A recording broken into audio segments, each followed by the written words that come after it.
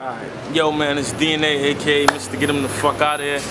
Now on the B Shine TV, man. What's up?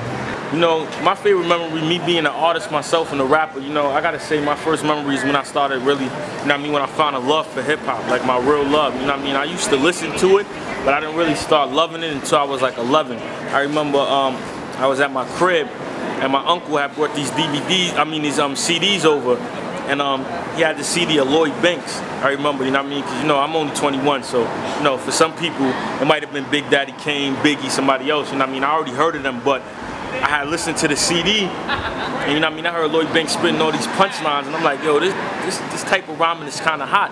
And then after that, you know, I started, at first I recited his rhyme to my friends, and they was going crazy, and then after that, I started writing my own rhymes, and you know what I mean? That's when I really started making music. So that's probably one of my best memories.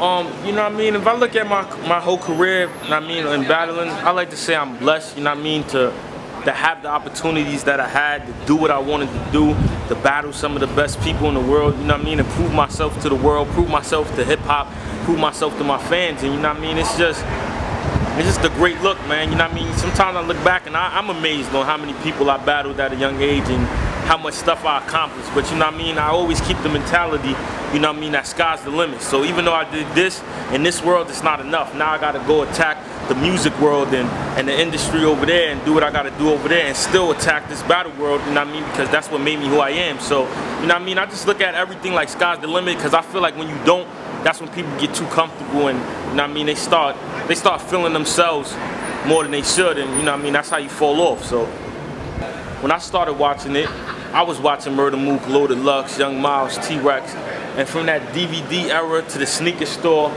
to now how in my era that I'm in now, it's at Webster Hall. It's it's, it's um it's in the biggest clubs that's in New York City and around the world. I feel like in 10 years, man, this will be on TV. This will be this would be on HBO. This, would be something, you know what I mean? Like when you see Jay-Z at the Garden, that's the impact that battling to have, you know what I mean? And it, it'll go mainstream, but at the same time, I hope it doesn't lose the actual feel that it comes from the underground. But I think definitely it'll progress because we've seen it progress before our eyes to everybody that's been into this since the beginning. You've seen it go from Jump Off TV to WRC to now you got Webster Hall and you got people like uh, Kevin Durant you got people like Jay-Z saying they watch it and, and, these type of people that's endorsing it. So imagine in 10 years, you know what I mean, where we'll be. You know what I mean? Just hopefully I'm around to see it. Hopefully, you know I mean, I'm still still able to battle and compete at it to my highest potential and do what I gotta do. Um, Summer Madness 2, I'm battling E-Ness. You know, you probably seen him on Making in the Band. Seen him against Iron Solomon, Arsenal, uh, Jae Millz, Hollow Man. You know, uh, a lot of people, I feel like, I'm not going to say this because, you know, E-Ness got his fans, but a lot of people, you know what I mean, they, they, they ask me why did I take the battle, it doesn't make sense, you know what I mean? I tell them, you know what I mean, I think, I think E-Ness is talented, I think the stage is right, the time is right, the atmosphere is right for him to come back and do his thing. So, you know what I mean, I think he's going to come and he's going to show up, and I mean, that's what I want. I want a good battle, I want him to be prepared, I'm going to be prepared, and we're going to do what we got to do.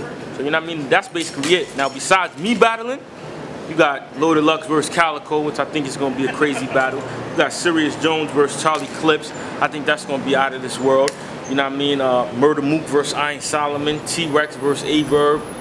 Like, it's crazy, man. I feel like this event right here is might be the, on paper, let me not say it before the production or the battles come out, but on paper, this is the greatest event in battling so far. On paper. Just off the names alone, you know what I mean? Who would have who would have thought in one night you could bring back Murda Mook, Iron Solomon, Serius Jones, Loaded Lux, T-Rex, and E-Ness. You know what I mean? Like that that's crazy. And then and then on top of that, you put us new guys in the mix, so it's like old versus new. That's that's what makes it hot. Cause you got Averb, who's from this era, you got me, you got Calico, and you got Charlie Clips.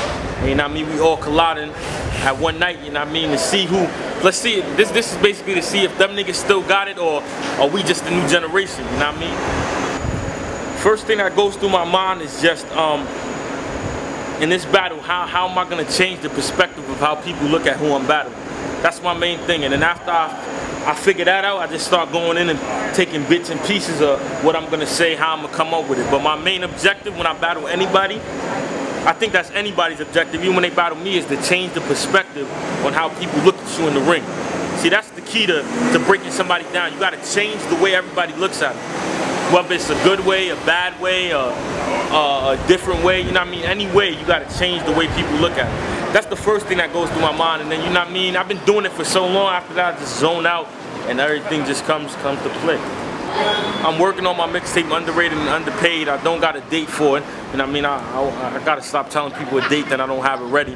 I got a freestyle mixtape coming out though on July 24th. All freestyles over um, industry beats. Not actually me freestyling, but me writing to the beat. It's not my own beat. So I got that coming out. It's called GTFOH, hosted by DJ Logical. And you can download it on livemixtapes.com and whatever other websites pick it up. But that's the next thing I got coming out musically. Now I mean like uh, twitter.com backslash DNA underscore GTFOH. I answer everybody, whether you like me, whether you hate me, I answer. Facebook.com slash DNA GTFOH. There's no underscore there. And uh, if you got business or emails, you can hit up my publicist at bookdnanow at gmail.com. One.